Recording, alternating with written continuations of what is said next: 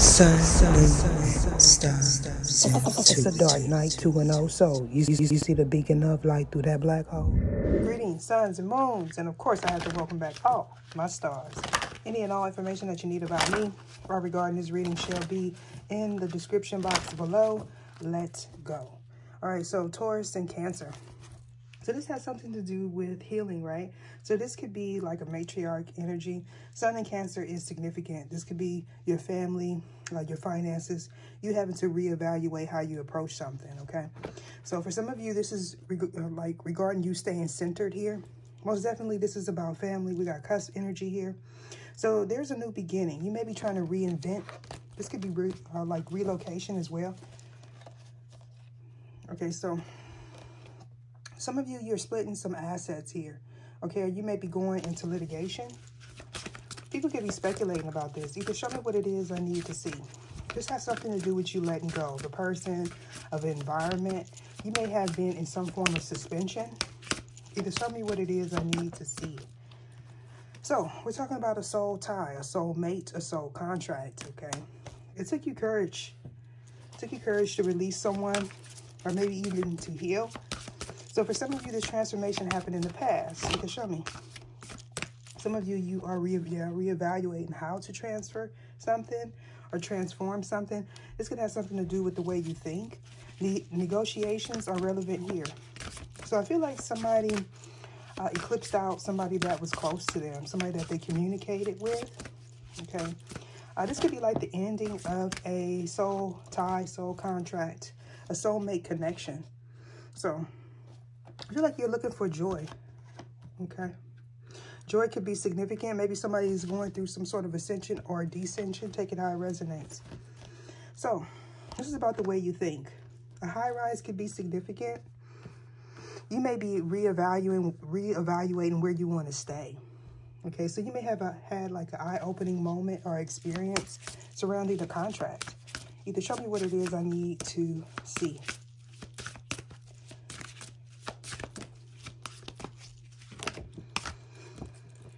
All right, um, Moon and Pisces. So something took place in the dream state or in the dream realm. Uh, this could have been at night. Maybe you were lying awake. Either show me what it is I need to see. So this, this regards, regards some sort of transformation. You may be worried about how you look to others or how things appear when it comes down to do with your finances. So for some of you, this is like a legal binding contract here. But this could also be like you restoring something. This got something to do with travel. Sun in Sagittarius is significant. So you were at a crossroads. This could be like a child's mother or involving your child's mother. A mother figure.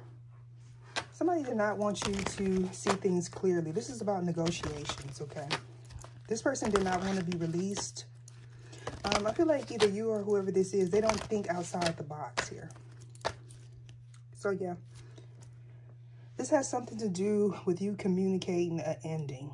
Now, for some of you, unfortunately, this is a soul tie. This is something that, this is a legality here, okay? So you felt trapped in this situation. You could be dealing with a Capricorn. You could have third house, like Capricorn in third house. Or this is something that you communicated and you walked away. You completed something. For some of you, this is something that you need to complete. Either show me what it is I need to see. Yeah. So this is uh, about the way you approach your finances. Somebody may want to come towards you or you want to come towards someone in regards to a collaboration.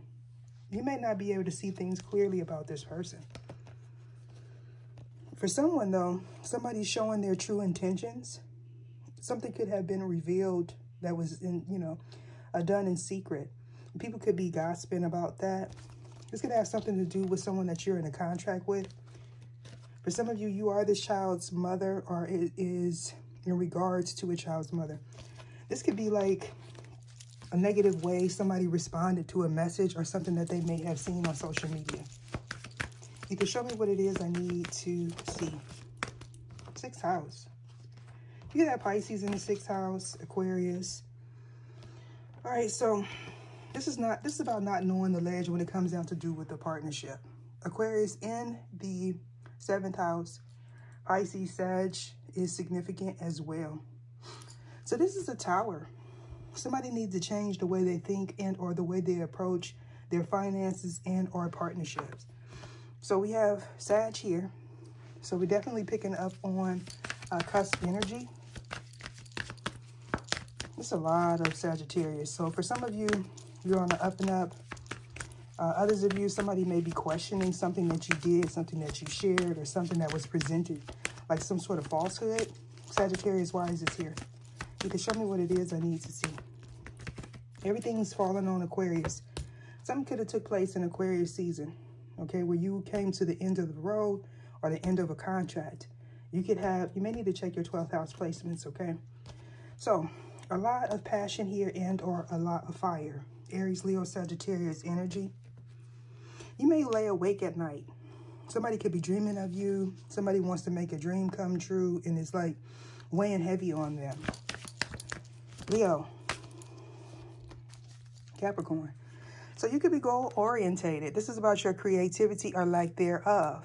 I feel like somebody re like refuse or they're going to in the future to take accountability and or responsibility for some energy they show up in. You can show me what it is I need to see. Um, it was all a dream. May have been something that was, was said. Or somebody may feel like you're delusional here. So this is someone that does not know the ledge. They have 180 degree because they're still growing. They do a lot in secret or this is you. Eclipse and Aries, why is this here? Either show me what it is I need to see. Okay. So this is surrounding a contract that may be binding in some kind of way. Um, there could be the people doing things in secret here.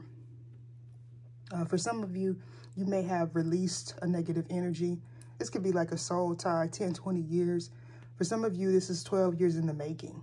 So this has something to do with a foundation and or institution. Yeah, it's like rebuilding something. For some of you, it has something to do with real estate. You could be a private investor or you may be looking for one. Aries, why is this here? Moon and Aries is relevant. Okay, so this is about an institution, friends, you may be you may be moving away from friends or people pleasing type of energy, or you're being guided to do so. What's at the bottom here? So we have Scorpionic energy. Scorpio in the eighth house. Okay, or you could just be a Scorpio or dealing with one. But for those of you that are not, this is about transformation. This is about you pursuing your passion. You could be dealing with the same, the same sign, or people are speculating. Like, is something true? So I feel like you took your personal power back when you release someone okay? This may have been like legally binding or some like a litigation is involved in this. Yeah. So we have a lot of doubles of the same sign, okay? So even though this person may be the same sign as you, this is like opposites attract to learn lessons. So this is about your vision or lack thereof. You know, people may be like cloud chasing. They may be in your environment to pull on your energy here or uh, to see what you're doing you know, take your ideas, uh, you know, your creative endeavors or intellectual property, take it how it resonates. But this is like a group effort. I feel like there's some sort of change that's undergoing here and balance is being restored. This could be something that's being communicated by me or someone that may like reach out and like talk to you.